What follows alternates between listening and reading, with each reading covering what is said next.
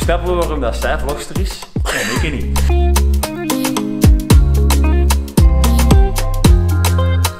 Fake news. Hier zit iemand die jullie kennen. Typisch. Ah, is dat veel? Ah, dat mag niet. Ik Wat dacht is, dat eh, spontane reactie. Maar dus die is ehm, met drank aan het experimenteren. Ja. Zeg een keer, wat er jij eigenlijk aan het doen, buiten u helemaal aan het bezetten? Eh, we, we zijn even daar. Ik heb nog niet gedronken, voor de duidelijkheid. Alles gaat door de pombak. Bijna alles. Nee, wij hebben binnenkort, eh, moet onze CEO ergens eh, online, want corona, ehm, een opening speech doen. En u wilt nadien iets leuks doen, wetenschappelijk, maar normaal gezien na opening speech, receptie en zo, kunnen ze nu niet doen. Dus iets anders, maar met wetenschap. Dus dachten, een cocktail of een shotje of zo, maar mooi in laagjes, met densiteit. En dat is wat ik dus nu, want ik drink nooit. Dus het is echt gewoon één groot experiment voor u ook eigenlijk. Ja, dus grenadine. Het voordeel van grenadine is dat het een koolkleurke, maar dat is natuurlijk ook, omdat je dat hoort te verdunnen, gigantisch, gigantisch dens. Dat is veel zwaarder dan water, omdat daar knoef te veel suiker in zit. Knoef te veel. Vind ik een goed woordje. Nu snappen we waarom dat zij vlogster is en ik niet. Dan appelsiensap. Wat dat je niet wilt is zo dat, zie je wat ik nu doe? Zo dat klots, klots, klots, klots, klots. Dat komt omdat de lucht terug in die fles wil. Ja. Eh, maar dat is niet handig als je laagjes wilt maken. Want als je laagjes wilt maken, was het mijn lepels? Dat is een lepel. Als je laagjes wilt maken, dan wil je zorgen dat je geen impact hebt op de bovenkant van die vloeistof, zodat het er doorvalt. Dus je wilt eigenlijk dat dat zo smooth op de bovenkant terechtkomt. Dat doen ze dat meestal met een lepeltje. Nu doe ik het via dat glas, via dat lepeltje. Het voordeel is, het densiteitsverschil tussen grenadine en appelsiensap is echt gigantisch.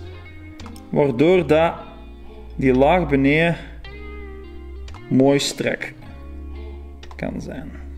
Zie is Voilà. En wat we dan gaan doen is Blue Curaçao. Het is een aperitief. Nu, dat is liqueur. Dus dat is net zoals die grenadine redelijk dens. Dus als ik dit er nu op zou gieten, dan het zou door. die er woep doorgaan. Hoe kunnen we dat oplossen? Door dit te verdunnen. Dus wat ik hier heb is Blue Curaçao. Eén deeltje Curaçao, twee delen water. Waardoor dat die dus veel lichter wordt. En lichter dan die appelsiensap. Dus daar doen we terug hetzelfde mee. Lepelke op de scheiding zo ongeveer. En rustig, hoe trager hoe beter. Vooral die eerste laagjes, die zijn belangrijk. En je ziet, dat zijn alle twee watergebaseerde dranken. Die densiteit ligt veel dichter bij elkaar.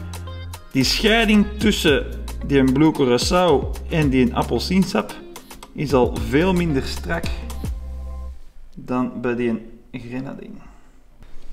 Wel mooi. En dan hebben wij een schoongelaagd drankje. Heel veel suiker van onder. Redelijk wat suiker erboven. Weinig suiker erop.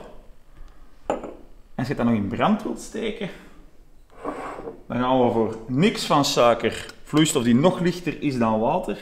Vodka. En voilà.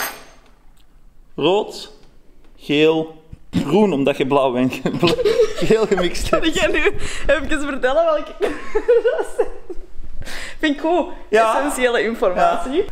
Nee, sorry, je wordt echt heel goed bezig. Nu, dingen die je in brand wilt steken, bijvoorbeeld alcohol, dat weet je of weet je niet, maar die vloeistof zelf, kijk, die is niet brandbaar. Als je alcohol in brand wilt steken, is het niet de vloeistof die je in brand steekt. Het is wel de dampen. Dus wat ik nu doe, is ik ga er even boven moeten blijven, zodat ik de bovenste laagje vloeistof doe verdampen, zodat de damp in brand kan gaan staan. Voilà. Cool. Nu eentje met ijs erbij. Ja. We gaan deze keer beneden, allez, een, een meer graduele overgang proberen te maken, zodat je mooi een regenboogje krijgt. Daarom hebben we die een ijs erin zitten, die gaat wel doorlaten, maar heel veel de weg vertragen, zal ik zeggen. Dus, eerst en vooral, wat gaan we doen? We gaan zorgen dat die grenadine goed naar beneden kan. Voilà, hier erin. terug toedoen. Dan appelsiensap er bovenop.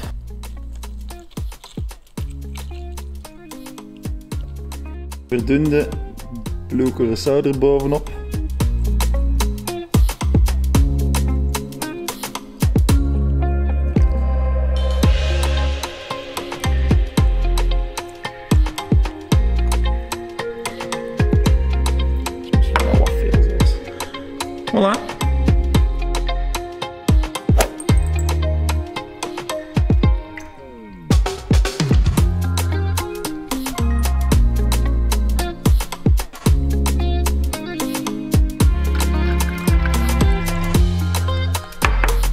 Normaal maakt hij er in een longdrinkglas en dan je veel meer appelsiensap en dan kunnen ze Nice, helemaal dat wel mooi. van blauw naar rood doen. Het is niet Voor geen barman te zijn, vind ik dat. En voor de eerste keer te proberen, Nu eentje zonder alcohol.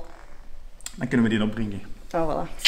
Right. Hetzelfde principe, maar één ingrediënt verschillend. We gaan in plaats van curaçao gewoon blauw gekleurd water gebruiken. Dus ik heb gewoon wat voedingskleurstof.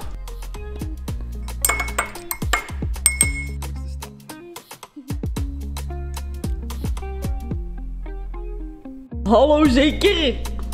Alcoholvrij? Kunnen we wel niet in brand steken dan natuurlijk. Nee, nee, nee, nee. Maar wel drinken. Wauw! Fake news. Oké, mag ik? Jij mocht. Een scholle. Dat is water, hè? Dat is water. Mm. Binnenkort Bart echt een polis.